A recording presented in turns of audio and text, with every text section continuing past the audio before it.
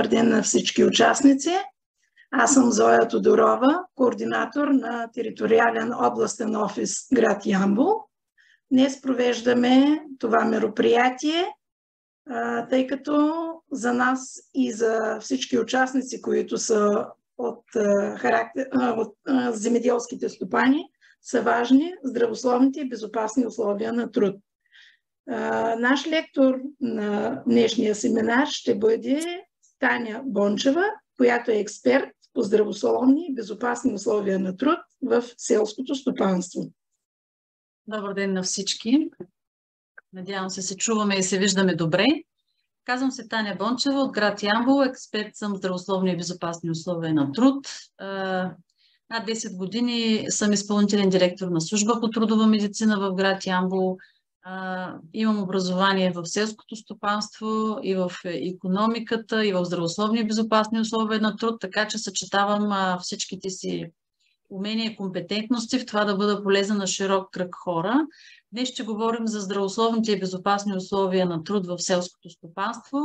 А, много навременен е този семинар, за който благодаря на колегите защото предстои жътвената кампания и мисля, че ще ви бъда много полезна със следващата презентация, в която ще ви покажа какви са евентуалните проблеми, които могат да възникват във вашата работа, от какво да се пазите, от какво да предпазите вас и вашите служители, какви мерки трябва да вземете на време, за да не се допуснат трудови злополуки и това някой да пострада. Така че а, сега ще ви а, запозная с презентацията. Ако има някакви въпроси, ще се радвам да ви отговоря, да ви бъда полезна. А, после ще ви покажа конкретни документи, как изглеждат, какви са вашите задължения като земеделски стопани, кой изготвя тези документи и какво трябва да направите, за да подобрите условията на труд в вашите земеделски стопанства и да имате изрядна документация и да отговаряте на българското законодателство. Драги земеделски стопани, селското стопанство в Европа се изправя пред все по-големи предизвикателства и проблеми. Някои от тях са извън вашия контрол. Това са световната економика, изменението на климата, екстремните метеорологични условия, обезлюдяването на селските райони, вие обаче може да контролирате своята работоспособност и възможността си да преодолявате проблемите, свързани с здравето и безопасността, с която се сблъсквате.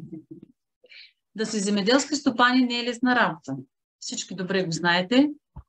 Всъщност това е една от най-опасните професии. Като вид работа, селското и горското стопанство непрекъснато се нареждат на трето или четвърто място сред най-опасните професии в Европейския съюз. Какви са основните причини за допускане на смъртни случаи в селското стопанство? Това са транспортни злополуки, от прегазване от превозни средства или преобръщане на такива. Падане от височина, от дървета, покриви. Удар от падащи или движещи се предмети, машини, сгради, бали, дънери на дървета. Отдавяне във водохранилища, резервуари на полутечен тор, силози на зърно, гледане на добитък, нападение или премазване от животни, зоонозни болести, контакт с машини, от необезопасени движещи се части, затрупване, подсрутени конструкции, електричество, поражение от електрически ток. Вие трябва да се запознати както с вашите права, така и с вашите задължения относно осигуряване на здравословни и безопасни условия на труд.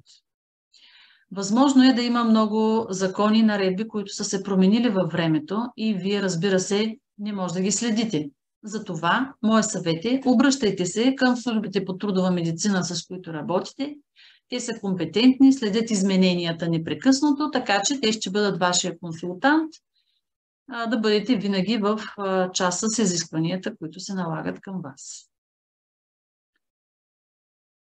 И трябва да сте сигурни, че вие и вашите работници се запознати с всички опасности, свързани с работата, както и тези опасности, които трябва да бъдат контролирани или отстранявани. Съответно, обучение или инструктаж може да бъде формално или неформално то може да бъде водено от външни консултанти или ако нямате или ако вие самите имате нужната квалификация, може вие да проведете обучението.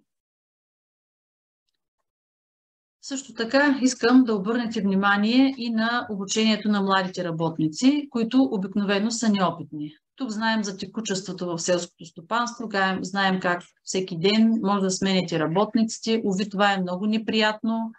Идват хора от всякъде, нямат опит в селското стопанство, вие ги пускате да работят на вашата работна площадка.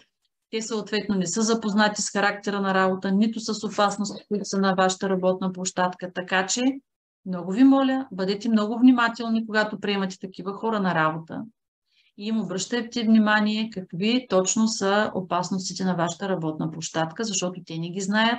Нека да бъдат по-умерени в действията си, за да не пострадат и за да не станат жертва на сериозни и фатални злополуки, поради това, че са били твърде ентусиазирани да покажат, че могат да свършат работа.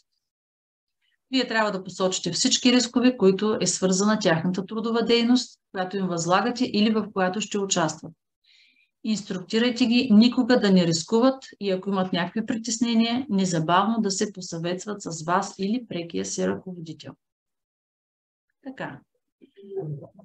Кои са важните основни теми, които трябва да направим, за да хората да бъдат обучени и инструктирани? Преди да започнат работа на обекта, казах ви, трябва да се запознаят с характера и спецификата на всеки обект. Всеки ден могат да бъдат на различно поле, на различна местност, там терените са различни, така че вие трябва да ги запознаете с, характер, с характеристиките и евентуалните проблеми, които могат да възникнат на съответния терен. Във връзка с важността на доброто стопанисване и спазването на правилата на обекта. Във връзка с повдигането на тежести. Относно използването на работно оборудване, ако вършат някаква работа за първи път, ако сте решили да прилагате схема за редуване на задачите. Всичко това трябва да им бъде казано, обяснено, нагледно, преди да започнат работа и не на последно място по важност, трябва да бъдат подписани в инструктажните книги. Не омалуважавайте подписването на лицата в инструктажните книги, защото при една, не дай Боже, трудова злополука, Първото нещо, което ще провери инспекцията по труда е дали вие сте направили обучение инструктаж за работата и дали лицето се е подписало надлежно в инструктажната книга. Това е една слабост, която вие може да допуснете като работодател и после тя да се обърне срещу вас. Така че, мой съвет е не подценявайте подписването на лицата в инструктажните книги. Относно правоспособността. Започва кампанията, търсите механизатори, търсите хора с определена правоспособност, които трябва да управляват машините. Знам, че няма такива, знам, че намирате каквото може да намерите, но много е важно всички хора, които започват да управляват определени превозни средства, да имат нужната правоспособност да управляват съответния вид машина. Шофьорите на превозни средства и операторите на определени видове, машини като подемно оборудване са длъжни да притежават свидетелство за правоспособност. Уверете се, че всички шофьори и оператори имат правоспособност за категорията превозни средства или оборудване, с които те работят. Проверете на какви периоди от време изтичат свидетелствата за правоспособност и планирайте предварително тяхното подновяване. Уверете се, че пазите всички сертификати на разположение за проверка. Заетите лица, които боравят с определено видове пестициди, трябва да притежават съответното удостоверение. За това ще говорим малко по-късно. Какви опасности ни дебнат по време на работа? Хората, които в най-висока степен са изложени на опасности, са онези, които извършват трудови дейности, а именно вие и вашите работници. Когато опасностите не се контролират, вие и вашите работници може да бъдете наранени при злополука, да се заразите с някаква болест, да получите увреждания или да загинете. Важно. Макар, че работникът може да е виновен за дадена трудова злополука, това по никакъв начин не ограничава отговорността на земеделския стопанин, че преди злополуката е трябвало да предприеме всички възможни стъпки за осигуряване на здравословна и безопасна работна среда. В исторически план селското стопанство е един от най-опасните отрасли за работниците в Европейския съюз, като смъртните случаи са 4-500 жертви годишно. И за да не попадате в тази статистика, е нужно превентивно да обезопасите работната среда. Малко по-нататък в днешното обучение ще ви покажа една програма за минимизиране на риска, в която ще видите практически как се случват нещата и какви са изискванията към вас. В земеделието работниците са изложени на екстремни метеорологични условия, многократно повтаряща се ръчна работа, движението на превозни средства и работата на машини, контакт с биологични агенти, контакт с опасни вещества, падане, примазване и още много.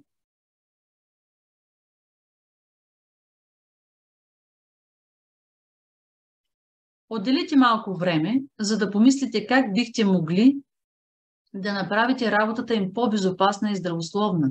Когато работниците са здрави и се намират безопасни условия, се очита по-голяма производителност, отколкото когато са уязвими работници. Така че само от вас зависи вашите работници да бъдат жизнени, здрави, работоспособни, да могат да дадат максимум от своята работна сила в работата, която сте им възложили. И тук а, искам да отворя една скоба. А, съдействайте им да правят профилактични прегледи, да следят здравословното си състояние, защото само един здрав човек може да бъде полезен на работното си място, както за себе си, така и за вас като работодатели. Сега, кой как може да реагира на условията на труд? Младите работници обикновено са неопитни и по-скоро импулсивни. Те имат нужда от обучение и строг надзор, докато придобият достатъчно квалификация. Друг е проблема, който ще имаме с по-възрастните работници. А именно, те са по-уязвими на метеорологичните условия, умора и стрес. При тях може да бъде да има ограничения, дължащи се на тяхната възраст, а могат и да страдат и от хронични заболявания. Възможно е зрението им, слуха, силата, рефлексите, скоростта на движение и дори производителността им да са понижени. Трябва да им се дава работа, която е подходяща за тях, да се упражнява строг надзор с цел контрол на рисковете, на които са изложени, като често се извършва профилактично здравно наблюдение. Какви примери може да дадем тук? Ако имате един работник с хипертония, това е високо кръвно налягане, той може да бъде много добър работник, да се изпълнява всичките функционалности, за които сте го наели, ако си а, спазва медикаментозното лечение, което му е назначил лекаря. Тоест, ако си взема а, правилно таблетките, които са му изписани, може да си регулира кръвното налягане, то да бъде нормално и това да не му пречи на работа. Но, когато имаме един хипертоник с диагноза хипертония, трябва да внимаваме какви задачи ще му възложим. Например, трябва да сме наясно, че този човек не можем да го качим на високо. Хора с високо кръвно не се качват на височини. Много е опасно, много е голяма вероятността той да залитне, да падне и да стигнем до трудова злополука. Също така при екстремни метеорологични условия, много горещо, много студено, хората с високо кръвно трябва да се пазят. Така че съвета ми е да бъдете запознати с здравословното състояние на вашите работници, доколкото те ви споделят това, защото имайте предвид, че здравословното състояние на всеки човек е тайна. И ако те ви споделят за здравословното състояние, вие ще знаете какво е то, но те имат право да не ви споделят за тяхното здравословно състояние, което в случая е нож с две остриета на вас, за вас има хора, които с телкови решения искат на всяка цена да започнат работа, прикриват от вас като бъдещ работодател телка, започват работа, после излизат проблемите с телка, с тяхната неработоспособност и така нататък. Така че съвета ми е, трябва да сте запознати с здравословното им състояние, доколкото те ви го споделят. Също така един друг пример да ви дам. Един човек с страдащ от сънна апнея, знаете, те заспиват много лесно. Ако той е механизатор, имаме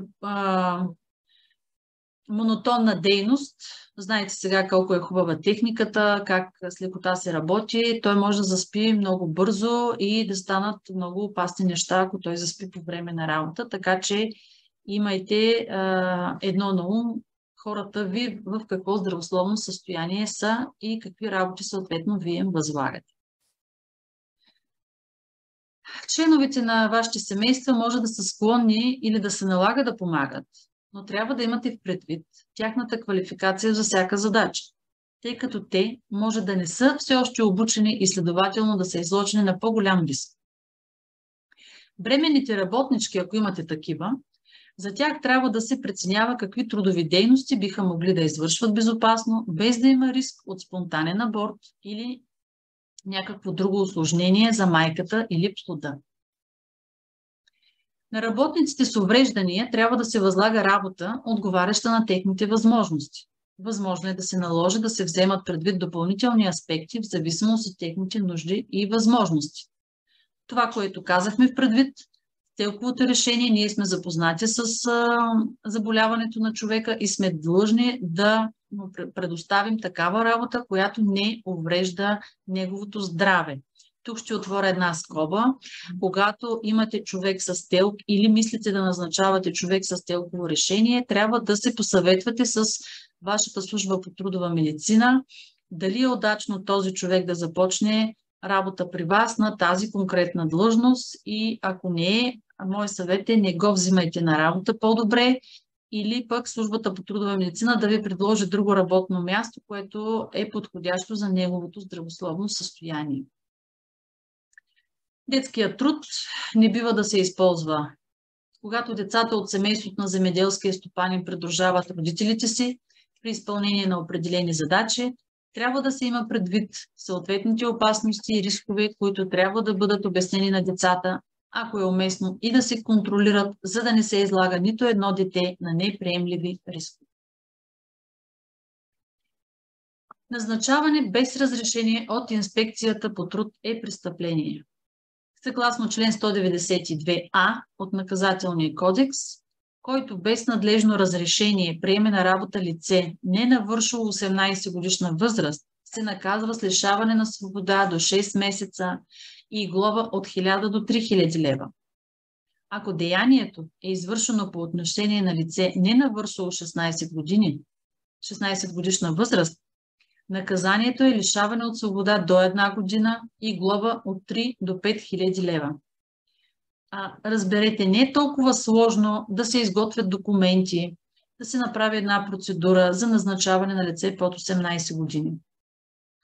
А, проблема е в това, че а, лицата под 18 години а, трябва да бъдат а, назначени в а, условия, които не застрашават по никакъв начин тяхното здраве и бъдещо развитие. Знаете, децата до 18 години се водят деца, те се развиват, трябва да работят в абсолютно безопасна среда. Да няма висок шум, да няма прекалено студено, студени температури, ниски температури, да няма прекалено високи температури, да няма вибрации, да няма някаква опасност, която да нарени младия детски организъм. А работата в селското стопанство, ови, е свързано точно с тези фактори, така че вероятността да ви разрешат официално инспекцията по труда да назначите лице под 18 години за някаква тежка работа в селското стопанство е минимална, но да речем някой под 18 години може да работи в канцеларията ви, в някаква такава по-лека работа на по-добри условия на труд. Но в никакъв случай не, назна... не взимайте на работа лица под 18 години, а камо ли под 16 години защото това е наказуемо, както видяхте, и ще имате големи проблеми с инспекцията по труда. Санитарно-хигиенни съоръжения, които вие трябва да осигурите за вашите работници. Винаги осигурявайте подходящи помещения за почивка и санитарни помещения за работната ръка. Те включват чисти туалетни. Разбира се, където има възможност за туалетна. Като сме на полето, нямаме такава възможност. Тук говорим, когато имаме голяма база, зърно база, кръвеферма, друг вид ферма, там където можем, имаме помещение, можем да осигурим тези санитарни помещения. Значи започнахме с чисти туалетни, студена и топла течаща вода, сапуни и хартиени кърпи за еднократна употреба или еквивалентни за измиване и подсушаване на ръцете. Душове и съблекални, ако са необходими, както и отделни помещения за мъже и жени, ако имаме работници и от двата пола. Първа помощ при вас е много деликатен момент, защото обикновено работите на отдалечени места, в полето, в далечни села, нямате достъп до спешна медицинска помощ, нямате достъп до медицински пункт наблизо, така че трябва да се справите на място с подръчни средства. И трябва да разчитате много на хората, които са на, на полето до вас, те да ви дадат първа помощ, а те да намерят аптечката с нещата, които са ненужни за първа помощ, така че Следващото нещо, което ще ви запозная, е много важно за вас и вашето здраве. Така, службата по трудова медицина, която ви обслужва, е най-добре запозната с характера на работа на вашия обект. Броя на лицата, които работят там, рисковите фактори, на които са изложени и така нататък. Затова службата по трудова медицина трябва да ви изготви списък с нужните средства за оказване на първа до лекарска помощ а ваше задължение е да ги закупите и поддържате наличността им в обектите. Аптечките трябва да се намират на лесно достъпни места за всички работници. Мястото, където се намират, трябва да бъде маркирано със знак. Изключително полезно е, ако вие или друг член на семейството и персонала преминете обучение за първа помощ и при нужда можете да оказвате незабавна помощ. Сега, какво имам предвид? трябва да си осигурите аптечка за първа до лекарска помощ и тя трябва да стои на местата, където работят хора. Ако имате зърно база, да стои в зърно базата. Ако работят на полето и са в някакъв вид механизация, да стои в механизацията, в трактора, в комбайна и така нататък. За да може да бъде в непосредствена близост до лицето, което евентуално ще има нужда да използва тази аптечка. Ако имаме база, аптечката стои върху някой шкаф на много видно място на нивото на очите. До нея има знак поставен за аптечка, така че всички хора да видят къде е аптечката. Аптечката не бива да бъде заключена, както има някои практики. Напротив, тя трябва да бъде лесно достъпна за всички, които имат нужда от нея.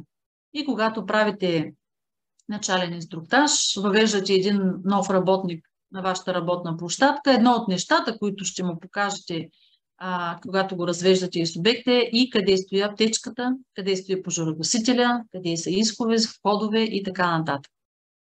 Така че аптечки пълни с материали, които са за оказване на първа до лекарска помощ, едно лице, което следи а, дали са пълни, с какво са пълни и така нататък.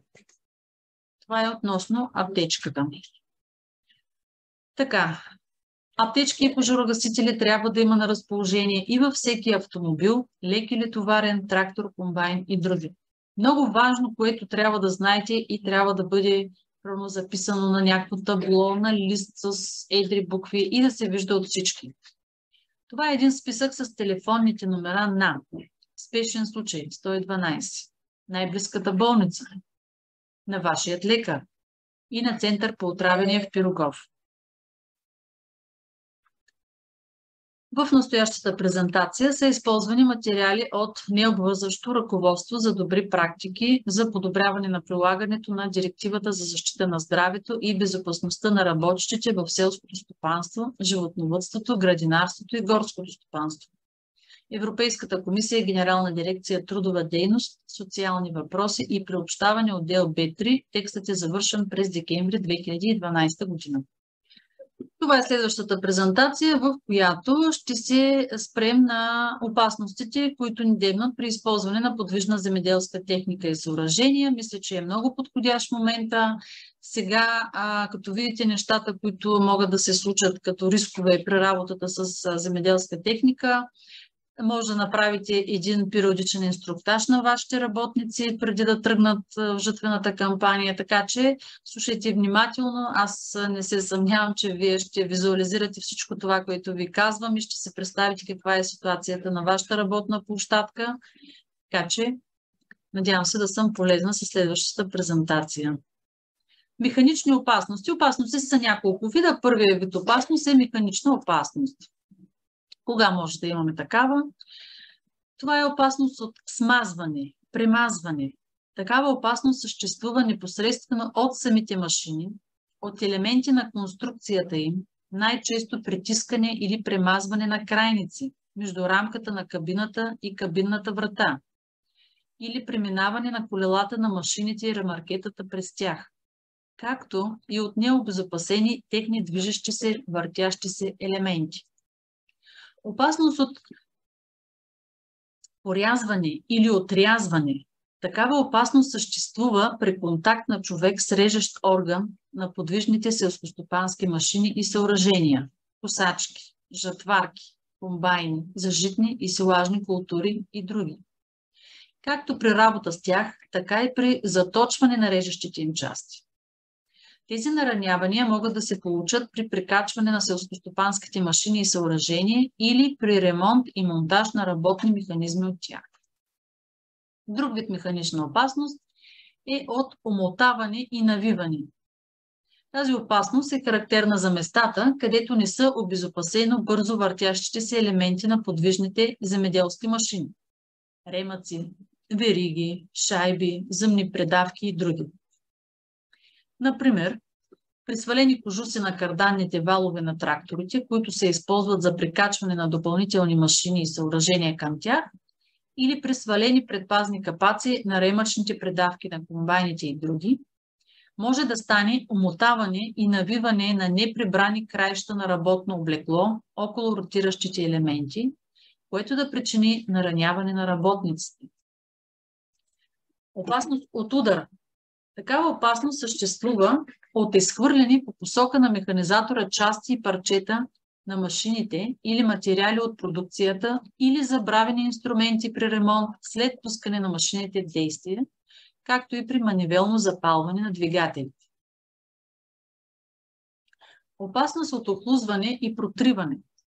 Такава опасност съществува от подхлъзването по стъпала, прикачване в кабините или отпадане от самите машини на работниците или механизаторите, следствие на загуба на равновесие, силно замърсено скал работно облекло, неподходящо покритие на стъпалата или подовете на кабините и други. Тук ще отворя още една скоба. Ако а, механизаторите използват предоставеното работно облекло и лични предпазни средства от работодателя, а именно в частта си да бъдат с подходящи обувки с нехлъзгащо покритие, вероятността а, да се спънат, а, да се подхлъзнат на стъпалото ще се намали до минимум. Но много честа е практиката, за да им е по-удобно, по-хладно в летните жеги, механизаторите да ходят с джапанки и разни други тем подобни а, обувки, които са абсолютно забранени за работа. А, значи могат да се хлъзнат. Често е кално, могат да се хлъзнат. Могат да се наранят, тъй като подметката на джапанката е много тънка, често изтъркана, могат да се наранят, да станат и прободни рани от нещо, което има в почвата. Също така може да се изкълчи кръка, а, също така може да бъде, не може да бъдем защитени от охапване на змия и разни други насекоми. Знаете, всякакви видове инсекти, земноводни има на полето, така че една подходяща обувка, висока, затворена, с а, нехлъзгащо покритие, може да ни спести много неприятности за в бъдеще. Така че Мой съвет е настоявайте вашите работници да бъдат, както и вие, нали, не, не само вашите работници, да бъдете обути с подходящите работни обувки, колкото и дискомфортно на пръв поглед да ви изглежда това, това може да спаси е, здравето и живота ви в един момент. Така, друг вид опасност са опасности създаване от електричество. Такава опасност може да причини увреждане или смърт следствие удар от електрически ток или изгаряне при допир на хората с части, на които е повредена или неподходяща. Изолацията. Тези опасности съществуват при ремонтните работи с електронеобезопасени машини, заварачни апарати, табла и други ремонтните работилници за поддръжка на подвижната земеделска техника, както и при преминаване на селскостопански машини близо до или под далекопроводи. Много често там, където се правят ремонти на механизацията, има и заварачни апарати и много често на заварачните апарати работят хора без нужната квалификация и работоспособност.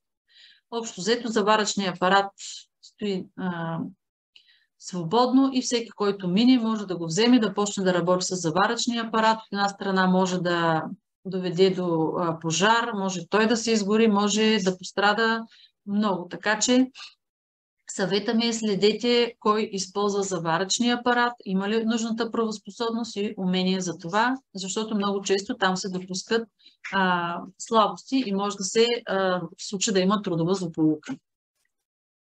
Така, термична опасност. Тази опасност може да причини изгарения или опарвания при добри с предмет, материал, течност или, други, или друг топлинен източник с висока температура. Например, работник може да получи изгаряне при контакт с нагретите части около двигателите на селскостопански машини. Вредни за здравето въздействие вредни за здравето въздействие оказва работата в топла или студена среда и неблагоприятен микроклимат. Повишената температура на въздуха води до загуба на голямо количество течности, соли и минерали, както и влушаване на общото физическо състояние и работоспособността на организма. А понижената температура предразполага за възникване на простудни заболявания, хрема, възпаление на трахеите, бронхит и други. Изложени на комбинираното въздействие на тези фактори са всички механизатори и работници, обслужващи подвижната земеделска техника. Какви са тук нашите задължения на работодател? Когато времето е горещо, както в случая, и хората са изложени на високите температури, те се дехидратират, кръвното им пада, става им лошо, могат да колабират на полето. Ние трябва да осигурим място, помещение, стая, навес, които са хладни, проветриви, които човека може да се почини, да се регулира температурата на тялото му. Трябва да има вода на разположение, за да може да пине вода, да се почини на хладно. Значи, когато е горещо, прибираме човека на хладно, за да а, сме в противовес на вредния факт. Обратно, зимата, на есен, когато е студено, влажно, има сняг, мъгла, лед и така нататък, ние трябва да осигурим на тези хора топло помещение, с печка най-добре, където могат да се затоплят, където могат да възвърнат своята работоспособност. А зимата трябва да им осигурим топли, тонизиращи напитки, които отново да възвърнат тяхната жизненост и работоспособност. Опасности създавани от шум. Продължителното въздействие на силен шум предизвиква физиологически и психически нарушения в човешки организъм водещи до професионални заболявания, като твърдоухост, частична или пълна загуба на слуха, увреждане на вестибуларния апарат и нервната система. Загубата на слух е най-коварната болест, която а, може да ви се случи. Тя става тихо, а, без да се усетите. Просто в един момент ще разберете, че вашия а, слух е намален драстично. Това излагане непрекъснато на силен шум води до оглушаване, което е невъзвратно. Не може да се излекувате, не може да се възвърнете слуха отново. Затова винаги при регистриран силен шум, а това се прави, когато се правят редовно замервания на шума, вие слагайте средства, които да намалят шума. Дали ще бъдат антифони, вътрешни, външни, дали ще бъдат някакви други средства, които ще намалят шума, дали ще предприемете някакви мерки за шумоизолация в кабината, или в цеха, или в склада, или в зърно базата, където ще бъде. Но вие като работодатели трябва винаги да следите да а, намаляте вредността на този фактор шум и да държите децибелите в а, рамките на допустимите норми, защото така а, бавно и тихо се увреждат вашите работници, както и вие, и в един момент просто ще усетите, че сте загубили шума си, а, слуха си, извинявам се, но ще бъде, за съжаление, късно. Опасности създавани от вибрации.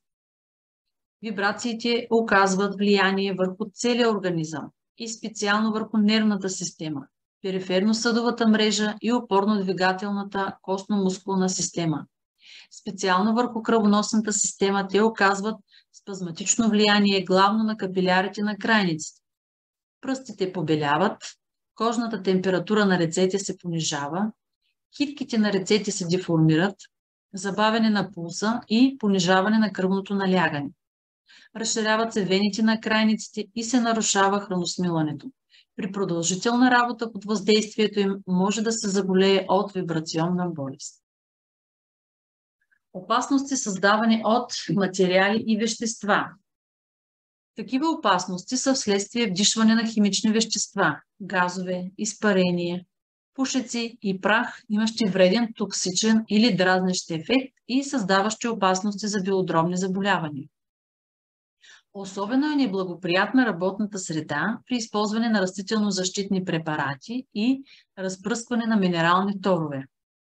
При използването на пестициди, проникването им в организма на механизаторите е предимно по кожен и дихателен път, като най-разпространеният начин за това е през устата, чрез вдишване, хранене или пушене. По-нататък другите презентации ще ви запозная с личните предпазни средства, които се използват при работа с пестициди. Опасности свързани с монотонността на труда. Еднообразието на дейността води до физическа и психическа преумора, която е предпоставка за трудов травматизъм.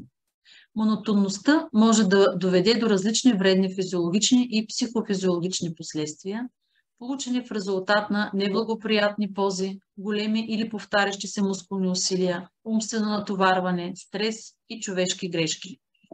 Тези опасности се срещат при работа с трактори, комбайни, сиалки и други. И как трябва да се противопоставим на вредността на този фактор, като организираме по-чести и по-дълги физиологични почивки.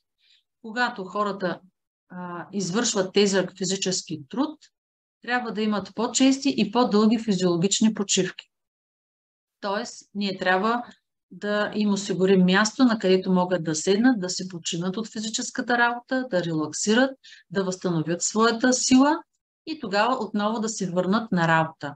Като, когато имаме тежка физическа работа, противодействаме с а, пасивна почивка, т.е. в а, седнало положение. И обратно, когато имаме а, дейности, на това, които натоварват а, учите, да речем, а, просто постоянно седяща полза, каквато е да речем работата на компютъра в офис, тогава пък а, физиологичната почивка трябва да бъде активна, свързане с ходене, движение, така нататък, за да противодействаме на този а, вреден фактор. Опасност от пожар и експлозии. Такава опасност съществува там, където има предпоставки лесно запалими материали да бъдат възпламенени по невнимание. Една искра от заварачния апарат, с който работи лице, което няма правоспособност, не е запознато с изискванията за противопожарна охрана, може да ви запламени, да ви възпламени лесно запалими течности, които, примерно, вие смените някакви течности на комбайна, той е решил да заваря, това всичко става в една близост, една искра отива и планва всичко. За да се предотвратят тези неща, всеки трябва да спазва инструкциите на безопасна работа за дейността, която извършва в момента.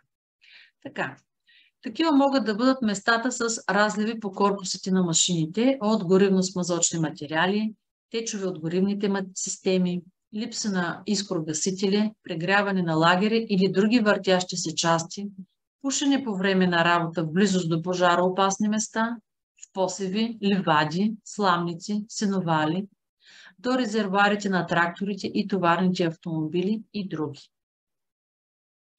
Микробиологична опасност. Най-разпространена е експозицията на органични прахове, патогенни микроорганизми и ендопаразити.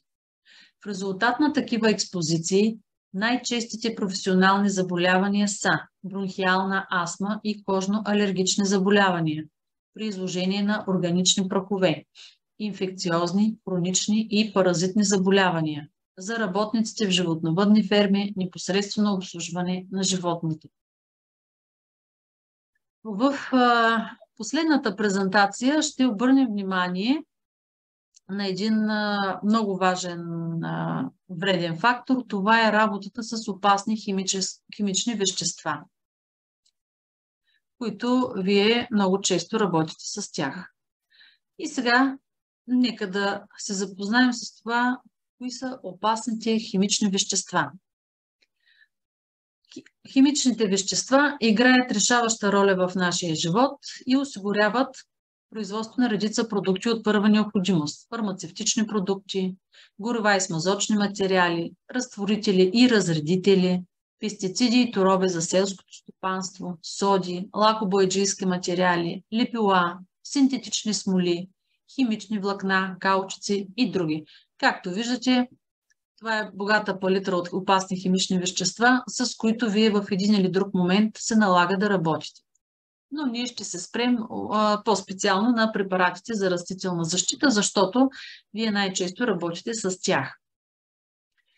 И така, тези опасни химични вещества могат да представляват реален и непосредствен производствен риск, осезаем с човешките сетива. Но някои са без мирис, което е още по-опасно и дразнещото действие или бързо въздействие върху човека бавно разрушава неговия организъм. Тоест, ако няма мирис, това опасно химично вещество е по-опасно, защото вие няма да го усетите, ще дишате и може да стане така, че вие да сте дишали голямо количество, което да ви увреди.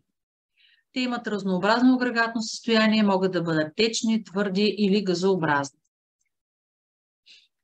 Сега това съгласно българското законодателство съм ви представила какви категории могат да бъдат а, опасните химични вещества. Могат да са експлозивни, лесно запалими, силно токсични, вредни, корозивни, мутагени, канцерогенни, дразнещи и така нататък.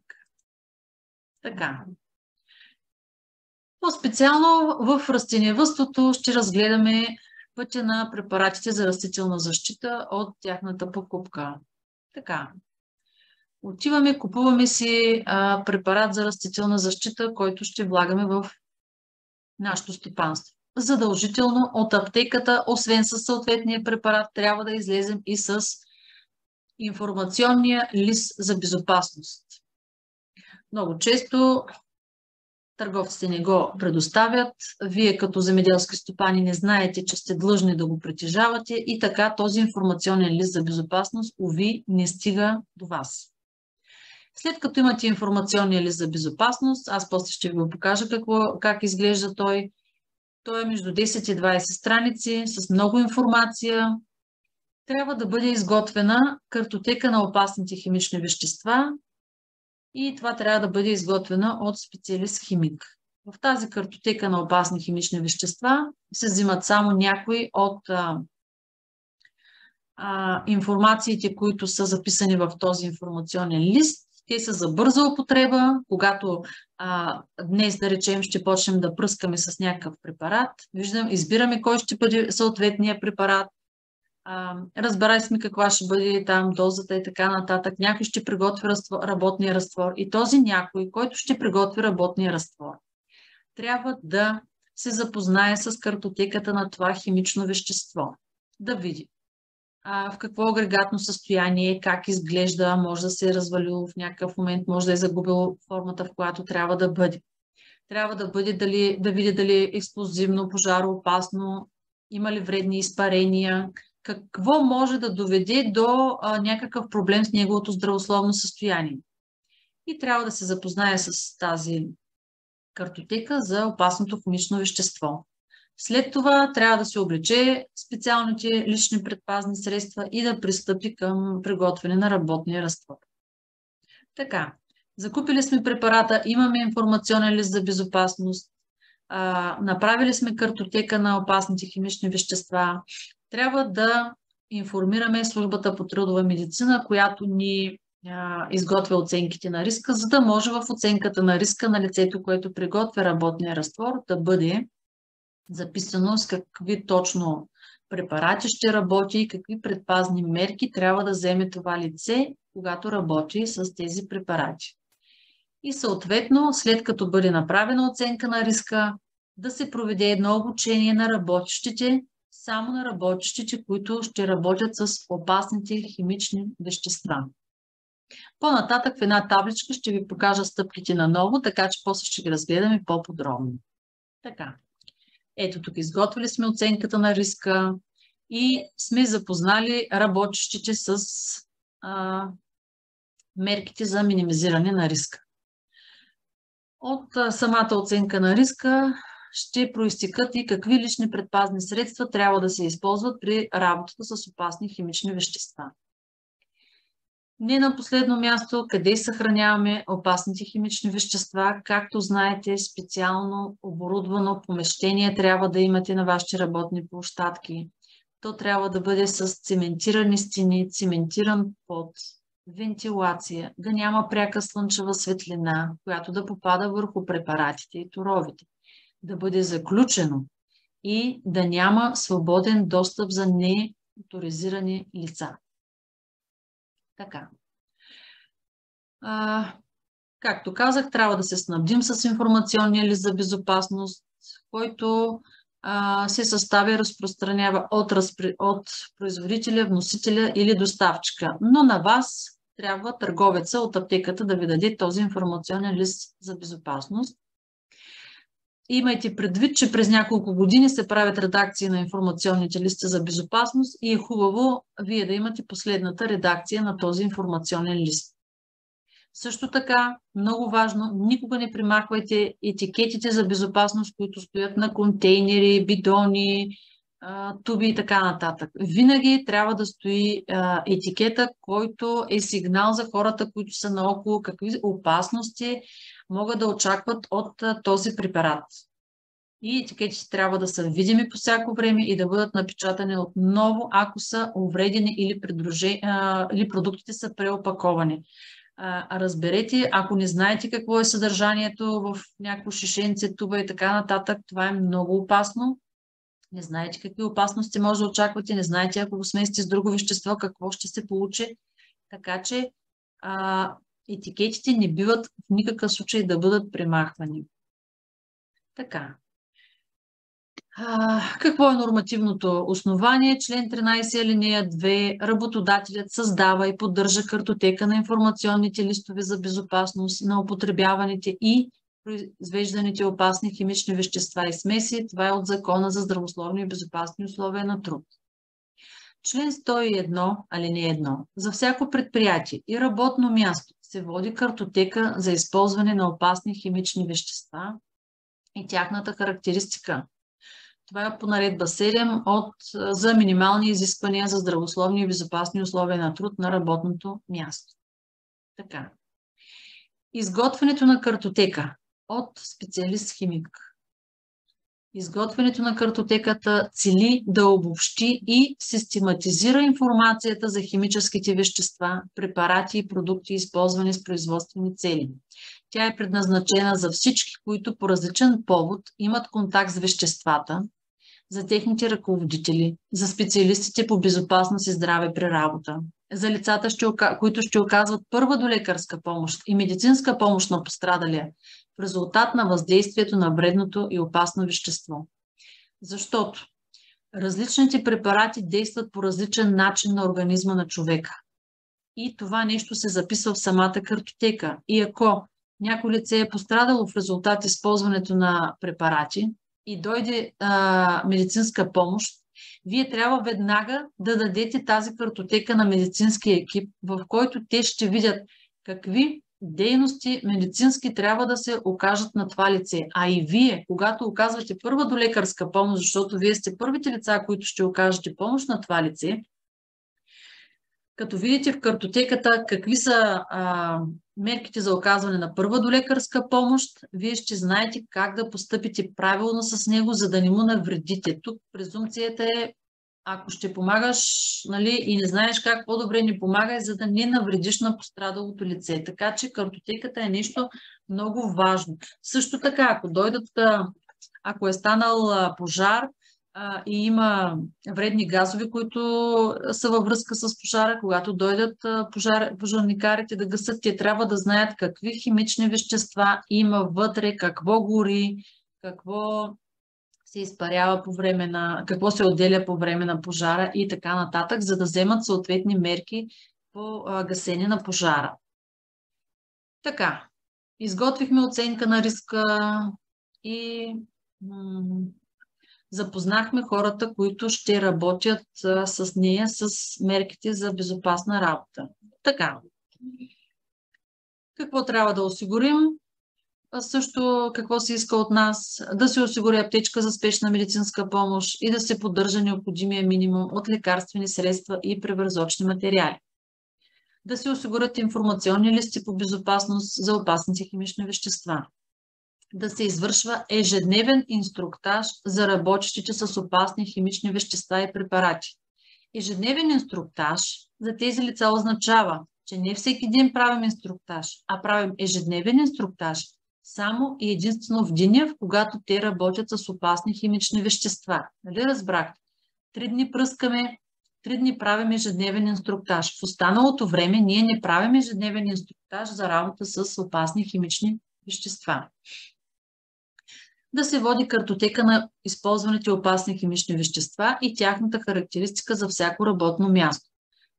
Какво се случва в практиката? Аз съм направила предната година картотека за опасни химични вещества. Те са ги използвали миналата година, но тази година земеделския стопанин гледа други култури, да речем, или е решил да смени препаратите, с които работи и той се закупува една част същите препарати, за които вече има картотека, картотека и се закупува нови а, препарати, за които няма изготвена картотека, няма съответно взет информационен лист за безопасност. Така че съвета ми към тези хора е, когато на следващата година закупят нови препарати за растителна защита, да изискат информационния лист за безопасност и да ни информират, да изготвим картотека на новите вече препарати, които тази година са добавени. И така картотеката се обогатява с всеки следващ препарат, а не да я направим за една година с пет препарата, с които сме били в предходната година. Тази година може да сме с съвсем различни препарати и картотеката всъщност да е ам, невалидна, т.е. да нямаме картотека за опасните химични вещества, които тази година използваме. Не на последно място да се извърши обучение на работниците и служителите, работата на които е свързана с използване на опасни химични вещества. Така, всички работещи трябва да са запознати с резултати от оценката на риска и мерките за намаляване и предотвратяване на риска и трябва да знаят, че подлежат на ежедневен инструктаж. Личните предпазни средства. Задължителни, задължителни при работата с опасни химични вещества. Работодателя, заедно с службата по трудова медицина, са определили и утвърдили списъка с лични предпазни средства. Той трябва да ги закупи, да ги осигури на работниците и трябва да ги обучи как по-точно да ги използват, как да ги съхраняват правилно, как да проверяват дали са изправни, защото могат да бъдат скъсани, да имат някакви пропуски и това да навреди на здравето на работника. Така че, освен, че трябва да имаме лични предпазни средства, те трябва да бъдат подходящите, трябва да бъдат здрави, и изправни и също така задължително да се използват от този, който а, приготвя разтвора. Също така задължение на работодателя е да води личен картон за предоставени лични предпазни средства на всеки работник, в който надлежно се описва датата, на която е представено работното облекло и личните предпазни средства, вида им и подпис на лицето, което ги е получило. Така лични предпазни средства за работа с опасни химични вещества. Защитен работен гъщеризон. Покриваме цялото тяло, т.е. осигуряваме безопасността на цялото тяло. Нитрилни ръкавици. Те са различни стандарти според препарата за какъв вид точно трябва да бъде работното облекло, се споменава в картотеката. Там е описано всеки препарат с какъв вид работно облекло, какъв вид а, ръкавици, какъв щит, какъв вид защита на лицето и така нататък. Така, значи, работен гъщерезон покрива цялото тяло, нитрилни ръкавици, които предпазват ръцете, гумени бутуши, които предпазват крайниците и щит или маска, каквото е а, за защита на лицето. Това са крайниците, тялото и главата трябва да бъдат покрити. Това е задължително. Цялото тяло на човека трябва да бъде покрито. Не забравяйте. Така, къде съхраняваме опасните химични вещества?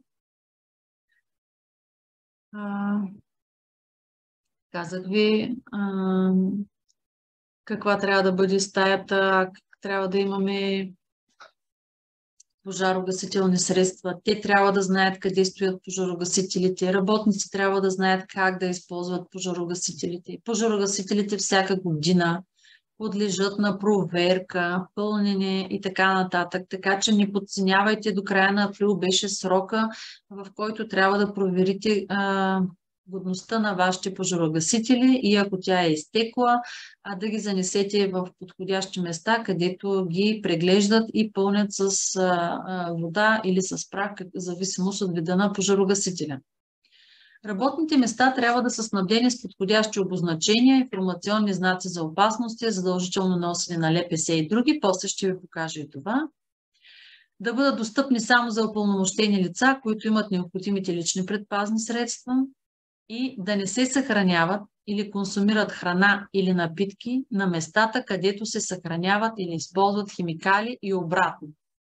Много често там, където са тубите с препарати и разтвори, те се хранят. Това е изключително опасно. Може да са пипнали препарата, после да пипат храна и да стави някакво натравяне. Уверете се, че контейнерите са винаги правилно затворени след употреба. Сега, надявам се да сте виждали информационен лист за безопасност. Това е произволно взет информационен лист за безопасност на препарата Приаксор. Както виждате, той е 19 страници. На всички ви е ясно, че 19 страници никой няма да прочете никога, но информацията за едни лица ще бъде една, за други друга. Така че всеки, всеки човек, всеки специалист ще намери различна информация в този информационен лист. Ето, например, Телефонен номер при спешни случаи. Много важно. Това се съдържа в картотеката. На кой да се обадим, ако имаме натравени, отравени с препарат? Описание на опасностите, колко е токсичен, с а, дали се инхалира, т.е. дали през носа го а, дишваме, дали ако се залеем, какво се а, получава, дали е вреден за околната среда и така нататък. Това са прекалено много данни, прекалено много информация. Затова само синтезирана информация от информационния лист ще отиде в картотеката, за която ви казах преди малко. Така изглежда една картотека на един препарат, в нашия случай Приаксор. Така. Каква информация ни дава картотеката?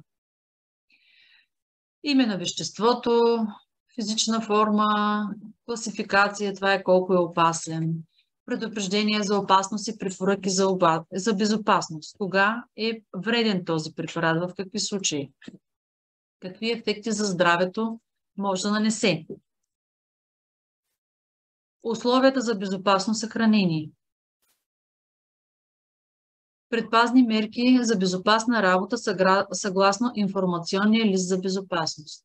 Ето, как да окажем първа помощ.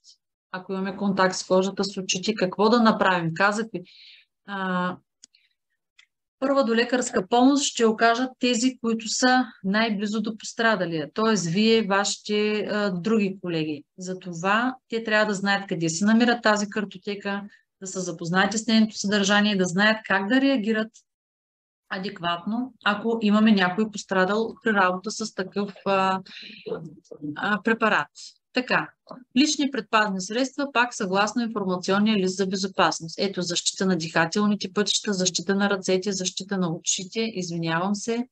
Тук е описано с какви точно а, лични предпазни средства трябва да бъде снабдено лицето и на какви условия трябва да отговарят и на какви стандарти, къде се съхранява, кой го използва и така нататък.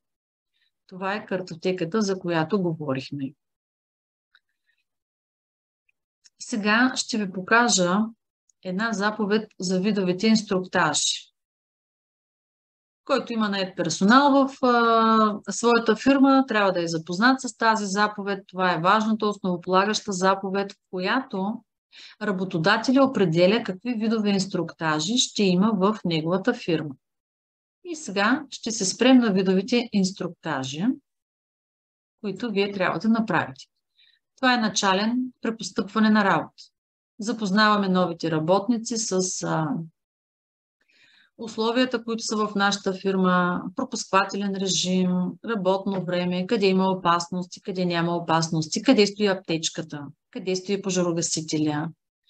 А, ако има някакви опасности, някакви места, които той по никакъв случай не бива да влиза, които са опасни за него.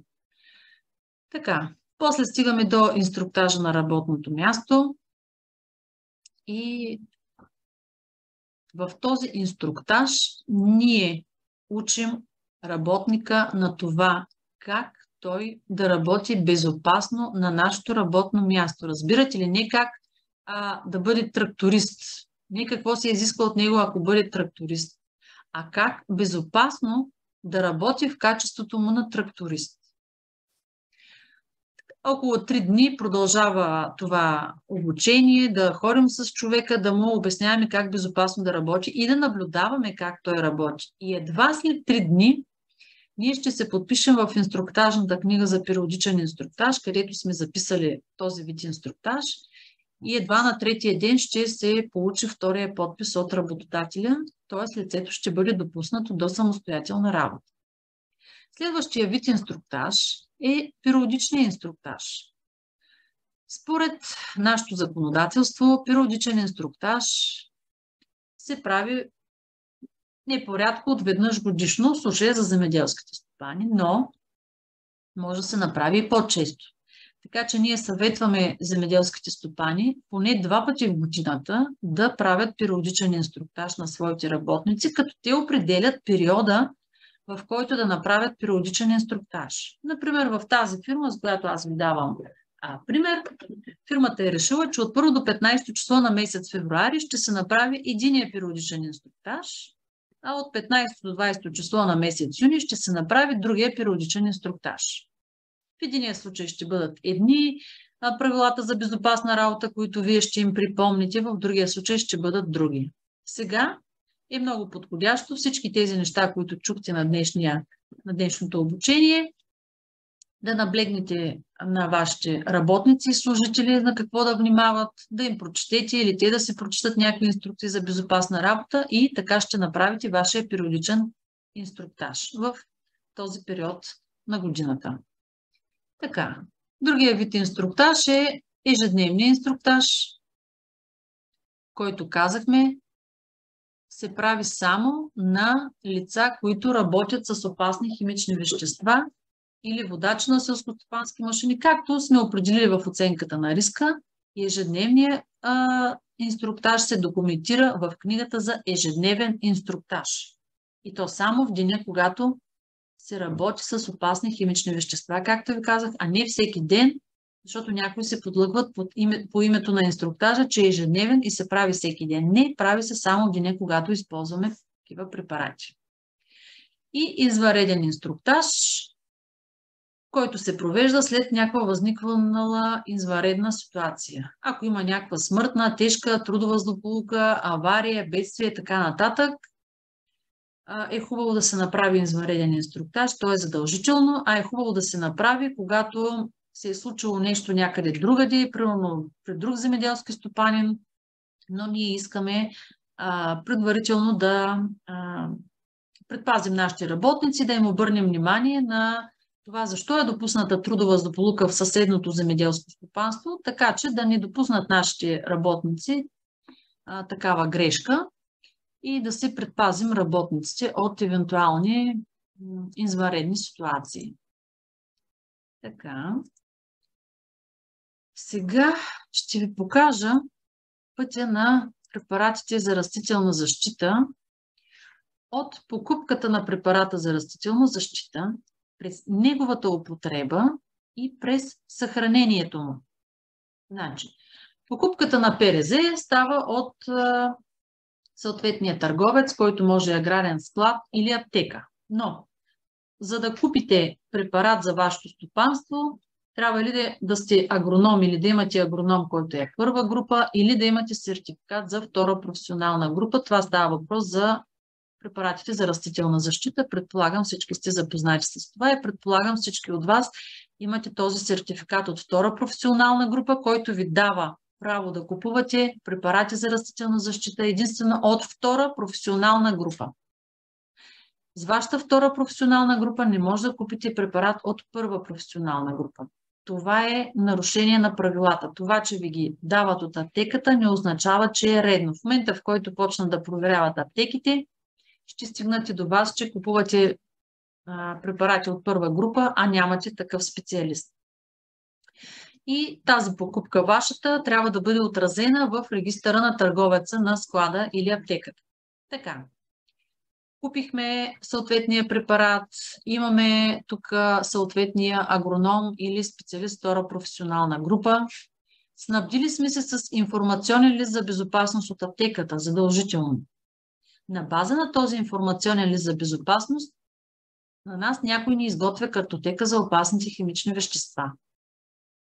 Службата по трудова медицина прави оценка на риска. На база на оценката на риска се прави и обучението за работа с опасни химични вещества и се определя вида на личните предпазни средства. Стигаме до използването на ПРЗ-то и в деня, в когато го използваме, правим ежедневен инструктаж на лицето. И 3-4 дни преди това в системата ЕПОРТ, където трябва всички да сте регистрирани, сме информирали, че ще проведем съответното пръскане на съответния масив, съответния препарат със съответната доза. И накрая, след като приключим с отглеждането на съответната култура, ще си попълним и дневника за растителна защита. Но всички тези неща са свързани и вървят едно след друго хронологично. След като сме изпръскали препарата, какво правим с опаковката от препарат за растителна защита? Опаковката се класифицира като опасен отпадък и имаме същите задължения да го съхраняваме, както съхраняваме препаратите за растителна защита. В стаята, в помещението, където съхраняваме препаратите за растителна защита, съхраняваме и опаковките от тях.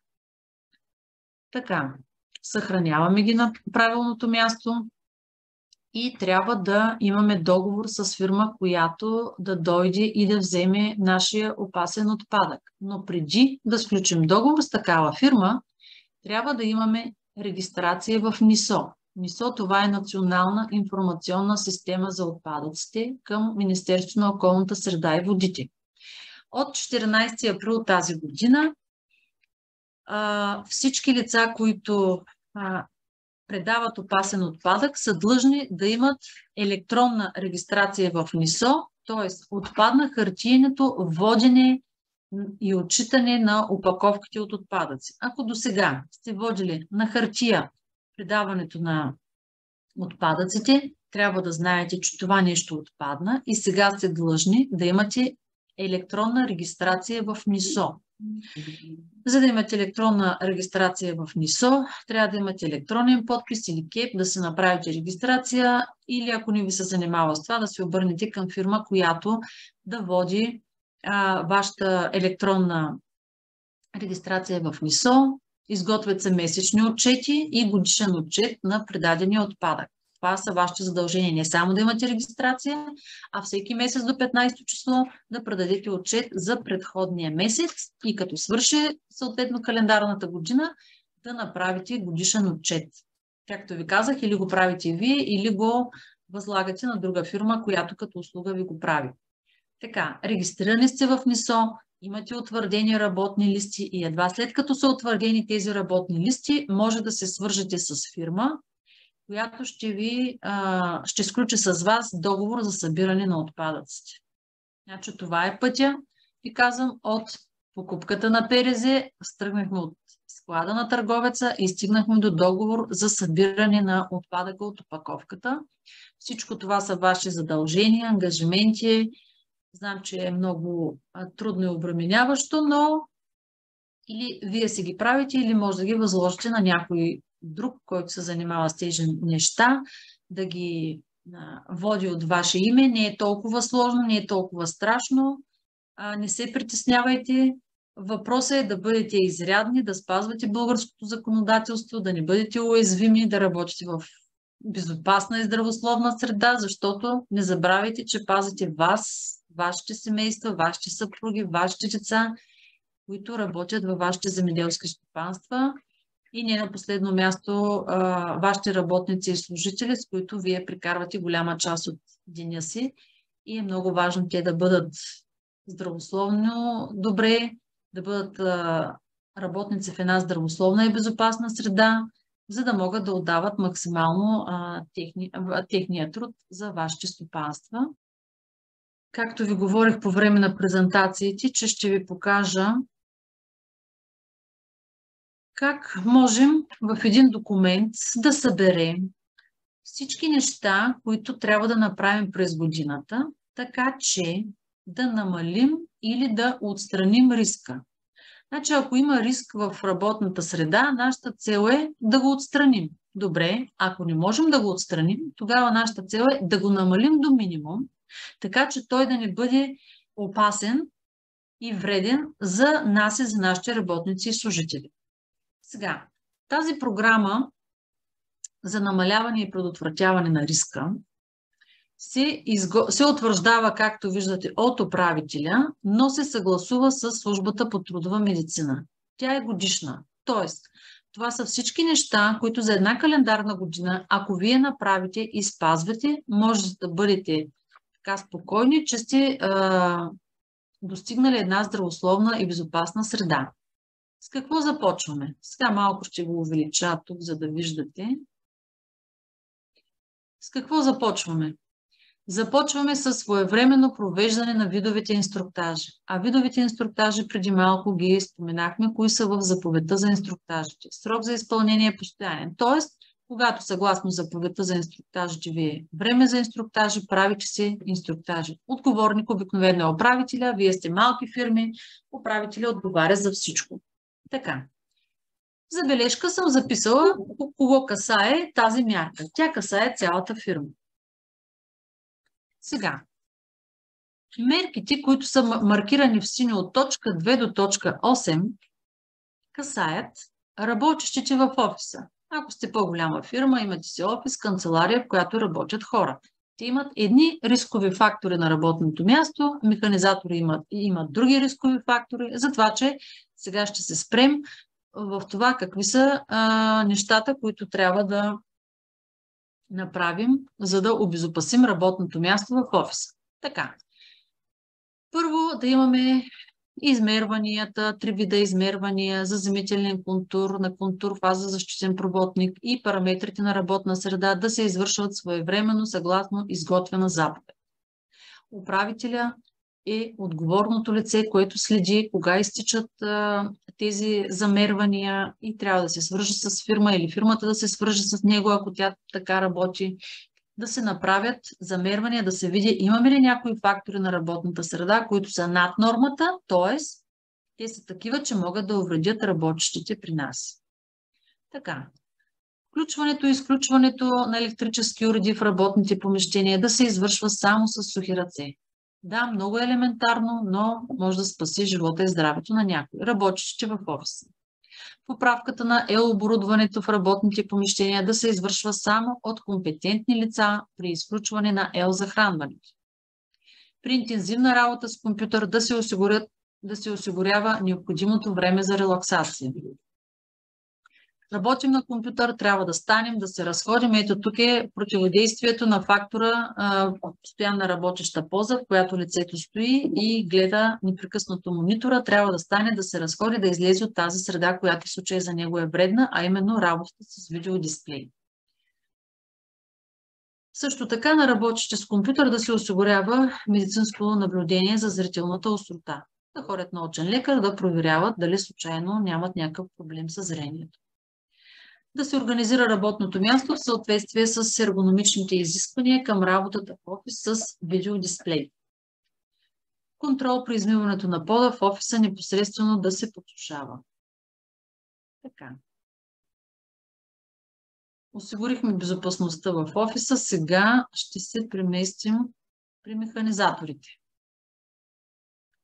Това, което виждате маркирано в сило, са мерките, които трябва да вземем при, работа с, при работата на механизаторите.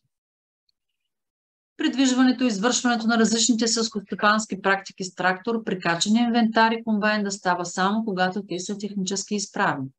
При разливането на масла по трактора и комбайна своевременно да се забърсят и извършването на ремонтни дейности и смяна на гуми, както и на прикачния инвентар, да става съгласно инструкцията за обслужване и ремонт на трактор и комбайн. Смяната на гумите да се извършва само специализиране за това места. Спазване изискванията за безопасно движение по наклонени терени и хлъзгави пътища. Движението по републиканската пътна мрежа да се извършва съгласно закон за движение по пътищата и правилника за негово прилагане придвижването на комбайна по републиканската пътна мрежа да става с включени светлини и жълта мигаща светлина на комбайната на водача и на задната част на комбайна. Трактора и комбайна да се управляват само от лица, имащи съответна правоспособност. Преди малко и това говорихме. Проверете им правоспособността. Някои може да нямат книжки, може да са им отнели е, свидетелството за правоуправление, а вие си ги ползвате да ви работят на комбайните и после вие ще сте виновен, че сте наели на работа лице, което няма нужната правоспособност. Извършването на ремонтни работи по прекачния инвентар да става само при спрян двигател и добре укрепен инвентар против падане или при плъзване. Да се поддържат пожарогасителните средства на трактора и комбайна в изправност. Да се осигури топло облекло за работа на полето през студените месеци. Както виждате, всичко това маркирано в сиво За отговорник е водача на селскостопанската машина, някъде е управител. Тоест, водача на селскостопанската машина сам си отговорник, сам трябва да вземе правилното решение, да се движи правилно по републиканската пътна мрежа, правилно ремонт и така нататък. Така. Маркираното в жълто, условно маркираното в жълто е когато работим с препарати за растителна защита. Ето, от точка 20 започва да се осигурят на работещите лични предпазни средства. Казахме какви са. Да се осигурят информационни листи по безопасност за опасните химични вещества. Да се извършва ежедневен инструктаж за работещи с опасни химични вещества. Да се води картотека на използваните опасни химични вещества. Да се извършва обучение на работещите и служителите. Предоставяне на противотрои при работа с ПРЗ и осигуряване на медицинско наблюдение. Ето виждате как всичко, което споменах в презентациите и ви показах като документи, тук е събрано на едно място и е много лесно за изпълнение за този, който реши да го изпълнява. Да се поставят знаци и сигнали за безопасност, ще ви ги покажа и тях след малко. Да се осигурят физиологични краткотрайни почивки. Говорихме и за тях. Когато работят на студено, краткотрайната физиологична почивка е на топло. Когато работят на горещо, физиологичната почивка е на хладно. Нали, не казвам студено, няма как да го направите, но на студено. Е, също така не бива да има и големи разлики в температурата. Не може да е работил вънка на 40 градуса, да влезе на климатик на 20 градуса. Това ще бъде шок за организма, ще бъде дори опасно за неговия живот. Така че имайте и това предвид.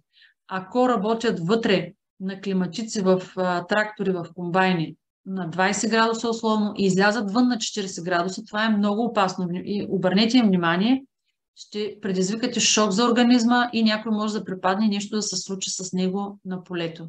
Така че това е, не бива изобщо да се подценява. да се осигури аптечка за спешна медицинска помощ там, където работят и в механизацията също трябва да има аптечки. Сега, задължение на юридическите и физически лица, осъществяващи дейност в земеделските земи, това е относно осигуряването на пожарната безопасност.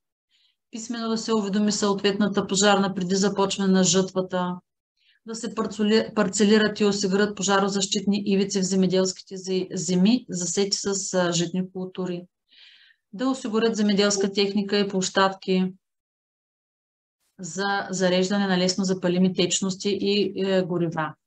така, да се поддържат в изправно състояние, да се извършва техническо обслужване при зареждане на а, пожарогасителите, казах ви до края на месец април. Да се предоставят до края на месец април в пожарната схеми с разположението на засетите площи и житни култури, пожарозащитните ивици, пътищата за предвиждане и така нататък. Да се поставят на видими места покрай площи, житни култури, знаци за забрана на пушене и паленето на закрит огън. Сега, относно вашето задължение да информирате пожарната преди започването на жътвената кампания. Много от земеделците, които идват при мен, казват, ама то това не отпаднали, ама то това отпадна, ама то това никой не го търси. Нито е отпаднало, нито никой не го търси. Просто някой не е дошъл да ви провери. Имате задължение, запомнете, до края на април беше, но дори да не сте го направили до края на април, отидете сега в пожарните служби по местонахождение на вашите обекти и си свършете задължението да ги информирате къде са ви блоковете, как са организирани и така нататък. Това е ваше задължение. Ако не дай си Боже стане пожар, нали, по ваша вина или без значение по чия вина на вашите парцели, вие не сте обявили пожарната. А, разбирате ли, че после цялата нормативна тежест ще се а, стовари върху вас? Така че, превентивно свършете си всички задължения, които имате, направете това, което трябва, за да минимизирате риска и знаете, че имате задължение за това да информирате пожарната. Сега, както ви обещах, ще ви покажа и знаците. Това тук а, са знаците и сигналите за безопасност, които трябва да бъдат, да речем, залепени на вратата на стаята, в която вие съхранявате а, препаратите за растителна защита. Това е знак за авторизиран достъп, т.е. не може всеки да влезе вътре. И а, знак за защита на лицето. Знак, че трябва да се носи подходяща маска знак, че трябва да се работи задължително с ръкавици и бутуши защита на долните крайници и гъщеризон защита на цялото тяло. Да. Това е относно знаците и сигнали за безопасност, свързани с препаратите за растителна защита. Въпрос къде можем да закупим аптечка за първа помощ? Ами, Значи аз в качеството си на служба по трудова медицина съм разработила няколко вида аптечки, които са необходими за различните видове работа. Примерно аптечка за офис, аптечка, която да бъде в превозното средство, аптечка, която бъде на зърнобазата. Так, трябва да искате от службата по трудова медицина, която ви обслужва, списък на списък на нещата, които са ви нужни за първа до лекарска помощ, да отидете в една аптека, да си ги закупите, да си купите една подходяща твърда котия, да ги сложите вътре, да си вземете от някъде знак, който знака за аптечка, знаете, той е червения плюс, да сложите знака отгоре върху самата аптечка, така че да се вижда. А, втория въпрос е къде можем да преминем курсове за първа помощ. Ами, трябва да се обърнете към службите по трудова медицина те правят такива курсове за първа до лекарска помощ. Също така може да се свържете с Български червен кръст по местоживеене. Те също организират курсове за първа до лекарска помощ. Трети въпрос. Каква защита трябва да се приложи при наличие на вибрации? Ами, а, значи първо вибрациите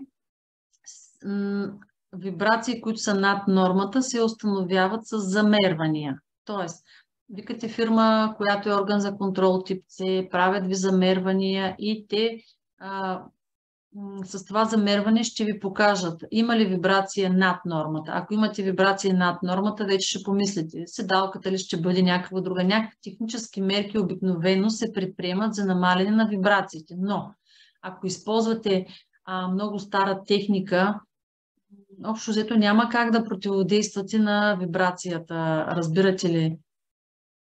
Малко трудно се противодейства на вибрацията, но първо трябва да установите, че тя е над нормата и после да вземете нужните а, мерки. Четвърти въпрос. Когато ЗП работи сам семейно, няма наети работници, отнася ли се задължението за инструктаж? А не, не се отнася. Задължението за инструктаж е само когато имаме наед персонал. Когато имаме човек на трудов договор, тогава сме длъжни да му направим инструктаж. Така, пети въпрос прилича на четвърти. Когато ЗП няма наети работници, остават ли всички задължения за инструктаж, информационни листи и картотека? Така, задължението за инструктаж не е при вас, както казах, ако нямате найт персонал, но задължението за информационни листи и картотека остава. И ще ви кажа защо. Защото а, законодателя иска с тези мерки да запази живота и здравето на работещите. Но работещите могат да бъдат наети по трудов договор, могат да бъдат и самонаети, както във вашия случай. Вие нямате персонал.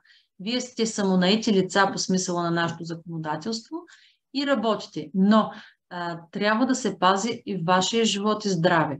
Като имате информационни листи и картотека, това е една стъпка да се предпази ваш... Това е за ваша безопасност, разбирате ли? А информационни листи за безопасност по презумпция сте длъжни да имате с всеки закупен препарат.